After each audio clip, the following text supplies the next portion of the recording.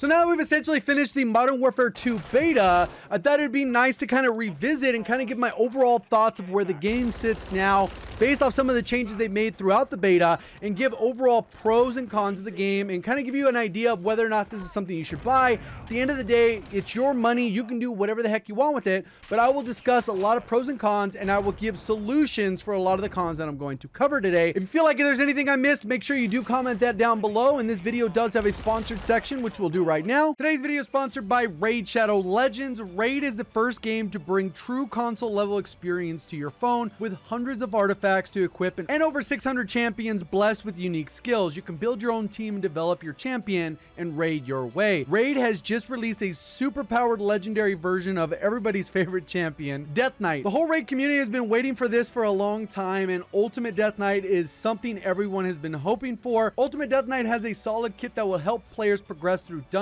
the Doom Tower, as well as clan activities and the Hydra boss. The best part about the update is everyone can get the brand new Ultimate Death Knight for free. All you have to do is log in and play Raid for seven days between now and October 27th, and you'll add the Ultimate Death Knight to your collection, but there's even more. This month, Raid just released a new feature, Awakening, and a brutal new dungeon, the Iron Twins Fortress. If you're good enough to take down the Iron Twins, you'll see a huge payoff being able to awaken your champion. Awakening your champion lets you choose a powerful blessing that can transform how they perform in battle. It's great when features like this are added because they add an entirely new level of depth and strategy. There's never been a better time to get started, but there's more. You can also use the DK Rises promo code for a bunch of free items to instantly level your new strongest champion. And the promo code's usable for both new and existing players. And if you haven't started playing Raid yet, click the link in the description or scan my QR code on the screen. You'll get unique bonuses worth $30. We're talking about a free epic champion, Tyrell, 200k silver, 1 energy refill, and 1 XP boost along with an ancient shard, which will be waiting for you right here in the top right when you log in. Thank you again to Raid Shadow Legends for sponsoring today's video. Welcome back. So the pros, there's gonna be a lot of those. First off, we got we got graphics. I don't know how they managed to do it, but the graphics of this engine or whatever they've done to it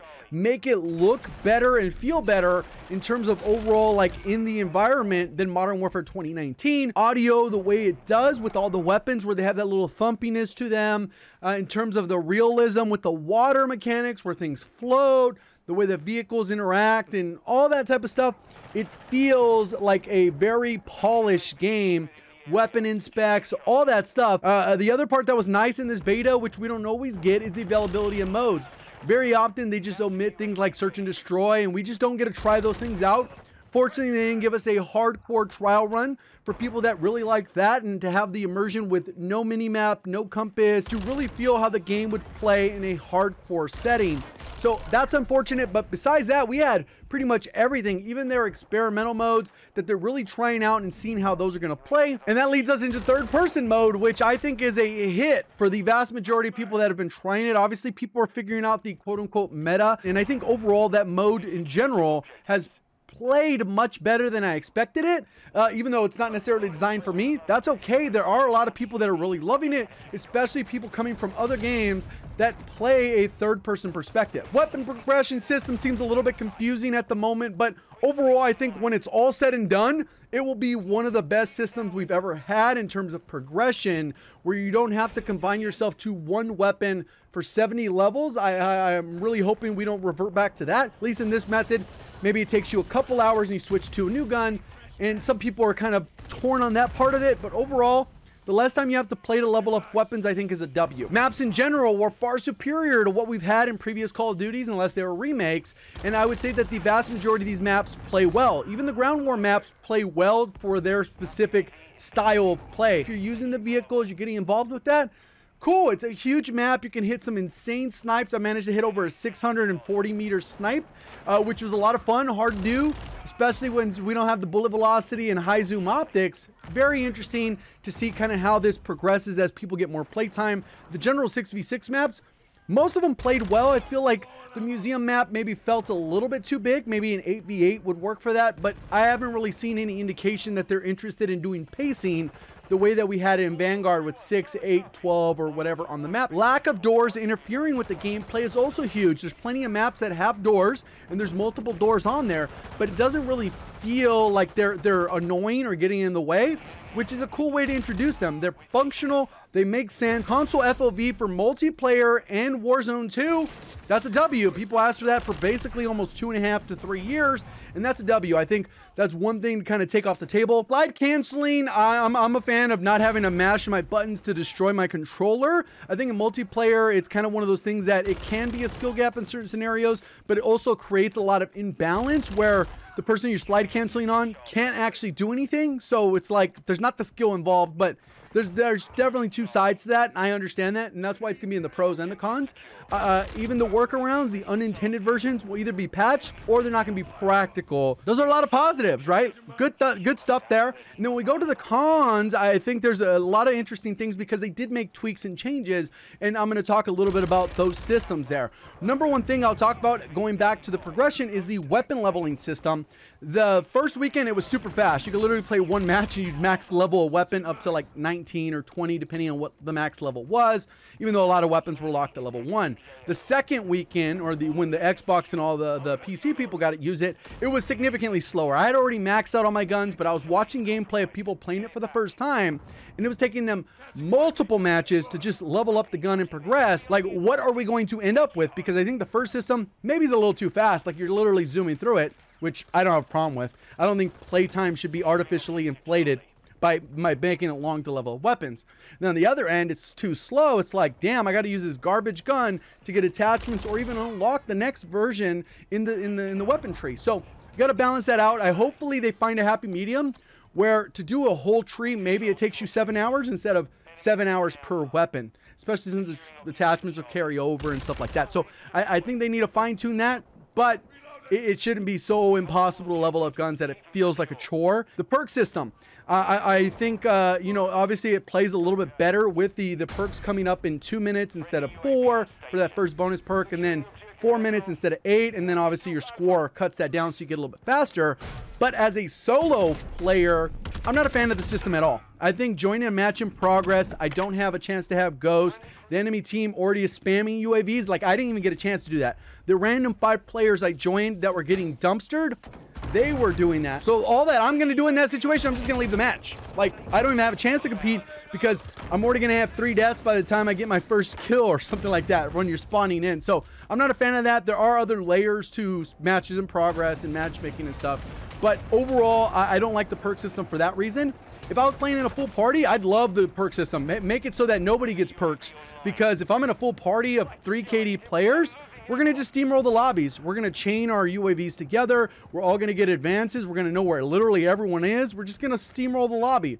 Personally, that's not a lot of fun because it's just kind of like you don't even have to think. You just go through the motions. I think they got to balance that out because the, the perks in general just kind of lead to steamrolling with the way it is right there. Uh, in terms of uh, Dead Silence, a lot of debate on this. People, whether it should be a field upgrade or a perk. Personally, I like the ninja perk because it doesn't make your footsteps dead silent. It makes them quieter. They've already expressed they're not changing this. So we're, we're stuck with dead silence as a field upgrade if you want to be able to run freely around the map without people just aimbotting you through the wall because they hear your audio. Uh, and it's that precise, which is a positive, but it, it's kind of like the range is so far that you could literally know exactly, oh, somebody's making a play. I can hear them coming around there. I heard the floor, so I know exactly what room they're in. It's like very good. So uh, kudos to those people, but it does kind of artificially slow down the game a little bit because as soon as I hear something, I stop so that nobody else can hear me because if I can hear them, that means if I'm moving, they can hear me. So I stop, wait for them to get closer, and then I just take the right angle to kill them. Not necessarily as skillful because you know, I know where they're at, they don't know where I'm at. Kind of makes a little bit of imbalance, but that's a whole other thing. The dead silence, when you bring it out, now they made it where it's a device where you bring out, it makes a lot of buzzing noise. So it literally gives away your position if, if somebody is in the area. So they'll know you popped it, and then they'll just be pre-aiming a specific area even harder. There, I think they should just copy what they did in 2019. So much of this game has been copy and paste over, so why not just copy what already didn't work but worked in that game for what it was? And it was what it was, right? Uh, another part is uh, going into visibility. And this is something that a lot of the recent Call of Duties kind of struggled with, where it's really hard to spot players. And I don't think they should just put people's name above the head because obviously for a certain group of people that's like ruins immersion and there is a skill in spotting players but it's kind of one of those things where it's like you can't tell if somebody's a dead body or not maybe they got to adjust the lighting they've done this before where they've been able to fix it uh, but it, it would be a shame if that like they just cop out and put a name tag above. I think there are ways to fix it, and other games do it perfectly fine. They don't need to highlight you with a big old red red uh, outline, but at the end of the day, it needs to be a distinction that you are a an enemy player uh, versus a regular teammate. And there are things to do with this with teammates. There are little dots above their heads that can be misconstrued if they're further away than this enemy. It can actually be above their head, and that half a second delay that you take to react because you don't recognize that that's an enemy player is enough to get you killed in the game. It's way too fast. So there should be a setting to dial that back so that maybe you can only spot teammates at 10 meters. The mini map is perfectly visible. I know where all my teammates are. That dot system has never been a functional system to me. Go even in Modern Warfare when they initially added it, it was initially there because we were supposed to have no mini map. And then once they added the mini map back, even without the dots, they decided to still keep those little dots on there, which have, have always been an issue ever since they've been in the game. If a teammate is behind an enemy, you, you can't tell the difference. And that's something they could easily fix. I could turn my teammate dots off. I don't need those I only need the minimap to know where my teammates are. It's pretty straightforward. The minimap obviously isn't traditional. Obviously, uh, as if you've played Call of Duty for a while, when you fire unsuppressed weapon, you do pop up on the minimap. That still happens if a UAV is in the air and the person has ghosts. They'll still pop up on the minimap. They've carried that over. They kind of use the, the compass as a whatever tool. I think that's obviously one piece of the puzzle. The game still plays relatively okay without the red dots. The bigger issue is tied with the spawns. If the spawns actually worked and, and were as you would expect, the minimap's like a non-issue. The problem is anytime we've had without the dots, the spawns have always been bad. And that's because Modern Warfare 2019 introduced a squad spawn system, which uses irregular spawns and irregular logic, whether it's sight lines, uh, uh, proximity to enemy, what flags you own in domination, for example. There's like almost no correlation there to common sense logic on the way the map should operate in terms of sides, and they have not addressed that. They literally copy and pasted it. They have made no acknowledgement to their crappy spawn system.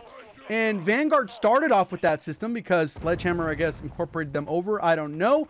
But at the end of the day, they ended up switching them out, and they were infinitely better after that switch. Not perfect because spawns can still have their issue, but when you're running into 20 times you see this issue per match, it's a big problem that it's like if, if you're more of a newer player, you're coming from a different game that's not Call of Duty, you, you might not necessarily notice much, but it's kind of glaringly obvious how bad the spawns are in the game with the squad spawns. Like I think if they fix those a little bit better, like how Vanguard at least tried to improve them, and Treyarch has generally had good spawns, then the minimap is like almost a non-issue because then you can kind of like use it to understand where people are going to be based off spawn logic not guessing because spawns are random or irregular. Uh, in general, a lot of the things in the game are pretty slow. We got sprint to fire time, ADS time after you dive, during a slide. I think they just got to tune those a little bit and not make them so they're zero, like a non-existent sprint to fire time. There still needs to be like a penalty for doing certain types of movements, but right now it's it, the, the movements are slower than the TTK. So if I slide, I cannot fire my weapon throughout a slide. So I'd basically never slide uh, maybe to get to cover away when I'm not intending to shoot. And maybe that's the purpose of it. But then it's like, well, then I'll never actually use that as part of my core gameplay loop. It'll be like when I'm running away, but normally the TTK is so fast, you you might not even have enough time to run away. Dolphin dive is very similar to that, where you're not going to be able to pull up your weapon, you're not able to aim down sight until you actually hit the ground. Any competent player is going to kill you instantly. Um, that gets us into a reload cancel, which has the different stages. I am not a fan of it, like the system, but it's okay. I've gotten used to it. It's like one of those things that it's bearable. I don't think they necessarily are going to revert it. I don't think they're going to change it. So it's not necessarily something to complain about, like, fix this. It's annoying. You just kind of get used to using your secondary weapon or making sure that you are in a solid spot, finishing that complete reload animation so that you're not caught off guard. But obviously, as it is when you get caught off guard, it's not something you expected. So you just got to get in the habit of swapping to your secondary because it's always faster than reloading. The actual weapon visibility, there's a lot of muzzle flash and smoke that comes off this, and they've had these issues in previous titles, and they always dial it in. So I'm, I'm imagining they're going to fix that. Hopefully we see some gameplay as closer. Maybe they do a little bit of like stuff where they COD next saying, look what we've done with the gameplay. We've fixed this. Look at how clean it looks now. Uh, and generally they get that dialed in because it's kind of hard to, to see people once you start firing a couple shots. If you don't manage to kill them within those first three or four shots, it can get a little bit wonky on visibility, especially at range. TTK I think is a little bit fast, but I don't recall a time that TTK has ever been changed. And theoretically, the only thing they could do, which in my opinion would make the game play way better, is remove a lot of the headshot multiplier. Previous Call of Duties did it where you had to have an attachment to get higher headshot damage, which was a high caliber, and there was a trade-off. You had to lose an attachment to have more recoil or something like that.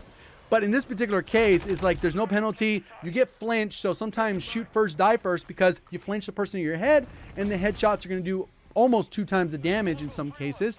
And, and, that puts you in a disadvantage where you feel like you got cheated by the game, even though you landed first shot, you were in the right position. The flinch can um, determine the fight. So I think lowering the headshot multiplier, so you need way more headshots to get the faster TTK or almost all headshots. And then you, the body shot TTK would be more reliable, consistent, and you wouldn't feel like you're getting cheesed in some of these kill cams. One thing that seems universal is the UI is horrendous. In the game, in the menus, in the match, when you're trying to party up with friends, it says everyone's offline. There's so much wonkiness and bugginess. I think they're going to scrap it entirely. Spectator cam in single life modes. Single life modes play great in this game, but if you end up dying and you need to spectate in one of the modes, they do this like third person camera on the head and it kind of has this weird awkward look where you really aren't like looking from the person's perspective. And I think it just needs the option to toggle that from first person to third or completely scrap the third and stay in first person. Whatever is easier, but the option definitely needs to be there. And I already touched a little bit on spawns, but one other issue with it is the little fly-in mechanic. When you choose your spawn, or you spawn in between lives or whatever, and then it starts from the sky and it does that little bit of a fly-in, that is a flawed system because what ends up happening is when you're in this imaginary spot up here before you get loaded in, the game has decided that you were spawning in a specific spot. And this spot was safe at the point that it decided that but the time between you actually loading and going in and flying in, it became unsafe and that leads to a bad spawn. And it's the system is flawed and, and they've removed it from a lot of systems after they've implemented it. I don't know if that's complacency or an oversight, but that just needs to be fixed where when you press spawn, you literally spawn in and instantaneously that spawn that was chosen was the spawn that was safe. And that will automatically save a lot of easy deaths that just happen from the stupid loading camera that should not be a thing. Ground War overall, like I'm not a fan of vehicles in the game, so for me, it doesn't necessarily appeal to me. As a Battlefield style player, it seems like people are loving it. The sniping does feel great because the ranges are there. We don't have attached to make them like hit scan, so there's a lot of bullet drop. A lot of fun in that regard. I think uh, that pretty much there shouldn't be any vehicles with lethal equipment on them, like i.e. tanks. I think those should be a, a, kill streak or a score streak. You want that particular streak, you call it in, and that's something you got to earn. Because imagine that's like an 8 to 12 kill streak. That's just for free. People get it right off the bat. Obviously, you can destroy them, but they respawn automatically. Guess how long is it take someone to get 8 to 12 kills? I think the vehicles should be good for traversing, but that's just my own personal opinion. Like, that's always been a gripe, even in Ground War and Modern Warfare. So that mode overall plays like you'd expect. Basically, if you're a Battlefield refugee, you're probably to play a lot of that. It's to kind of carry you over until Battlefield fixes their mess that they've gotten going on for probably the next five to six years. They're not going to have a playable game um, that you actually want to play that'll hold you over. So that'll be good, especially if you're going to transition to Warzone. You can kind of grind that for three weeks, use different things, and then you'll be able to use those weapons within Warzone and DMZ. That transition us to a little bit of invasion while we're on the topic of ground war. And the AI in this is just like, you don't know what the heck you're getting. Most of them are lower than recruit bots, clueless, basically have no purpose in being there. So they really need to deliver on that because a lot of the gassing up and promises they've made about AI are like bolstering them up, making them amazing. But nothing we've seen in our early playtest and this has kind of demonstrated any kind of confidence that the AI will be a, a good part of the game. So like I mentioned earlier, slide canceling is another issue that I think I have a con with as well because initially slide canceling was implemented in the game and we kind of found it as a way to traverse Warzone map or Verdansk a little bit faster. And with this game, they've removed that. So now you're going to be moving a little bit slower because you're not getting those instant slide cancels. But the movement speed in this is about 5% slower. So now we're slower and then we don't have the opportunity to go faster. I think that's kind of lean more people that maybe the dynamic is they want you to use vehicles more often. If you're going to be traveling by foot a long distance, you just got to take a vehicle. So we'll see kind of how that plays out because that destroys a lot of controllers. But at the end of the day, it does give you a little bit of that 15% speed boost or so that we were able to get in Verdansk and in Caldera or Rebirth Island or whatever from the slide cancel. So I think the, the base movement speed, even if it's only for those, probably needs to be bumped up a little bit so it doesn't take you a half an hour to traverse uh, across the map if you want to avoid, you know, being being loud with the vehicle. And this was introduced in 2019. Mounting, I don't think it should be in the game at all. Obviously, we modified it in Vanguard where you get the little sliding mount. Cold War removed it. But at the end of the day, I don't think mounting should be a Call of Duty mechanic. I think we're in a first-person shooter. We're not in a tactical shooter, even though they will make a lot of elements feel that way. At the end of the day, Call of Duty is not a tactical shooter. Stuns and flashes are incredibly annoying.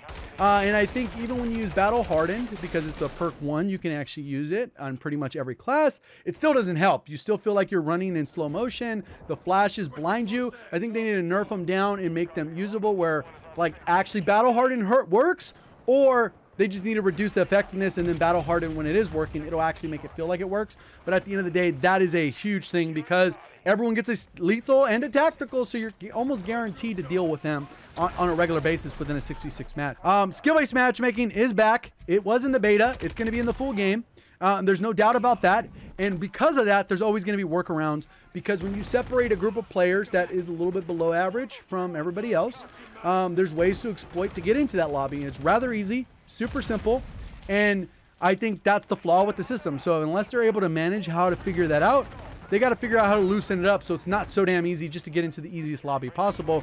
And this is shown multiple times. You can look up a lot of gameplay on YouTube right now where people are just running around like a chicken with their head cut off, getting 70 plus kills, and they don't have a lot of deaths probably an easier lobby. Not always the case, and that's kind of the problem with this system because sometimes if I want to play and I want to play super campy, sentinel, or whatever, and I end up going 40 and 5, you guys would go, all right, well, he kind of camped, whatever, right? But everyone's shooting in the lobby, and I make them look body because I'm literally at an angle where they can't see me. They jump out, they get instantly deleted because there's no TTK. So regardless of our skill difference, like it doesn't matter. Like I deleted a guy where he had no chance to react, or they had no chance to react.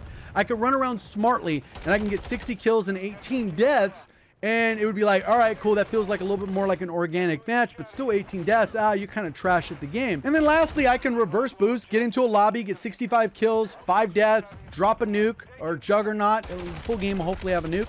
And then be like, yeah. And, and most people are going to look at all of those gameplays and either think you suck, you camp, or you're cheating. So it's like, no matter what, it creates a dynamic versus if I just played, got in a regular, oh, this lobby's a little bit easier. Nice. It is what it is. Uh, versus being able to strategically go and get 10 matches in a row with bots that are basically new players or just very bad players um, that you're going to take advantage of. And that's one of the problems with skill-based matchmaking.